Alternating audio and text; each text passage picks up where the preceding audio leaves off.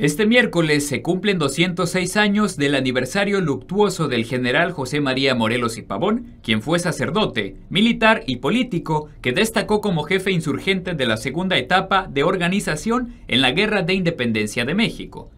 La reseña histórica del general estuvo a cargo de la secretaria técnica de la Comisión de Desarrollo Económico en Acapulco, Karime Ibetz Rentería Catalán. Morelos es un héroe nacional en México y es considerado un líder militar muy exitoso, a pesar el hecho de que nunca tomó una carrera militar y fue un gran sacerdote. Muy buenos días. Gracias. Por su parte, la alcaldesa del puerto, Abelina López Rodríguez, compartió unas palabras en honor al general José María Morelos y Pavón. Hablar de Morelos es hablar de un hombre libertario, es hablar quien luchó para la libertad, la justicia. Morelos parte fundamental para el constitucionalismo mexicano.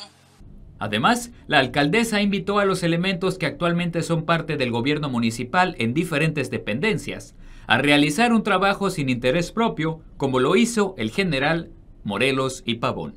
Servir para la patria es servir con principios, es servir para los demás, no esperando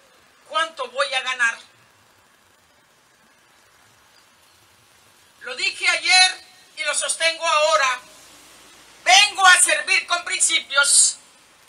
Vengo a entregarme a Acapulco con mi honradez, mi austeridad y combate a la corrupción. Con imágenes de Cecia Lozano, para N3 Guerrero, Salvador Vázquez.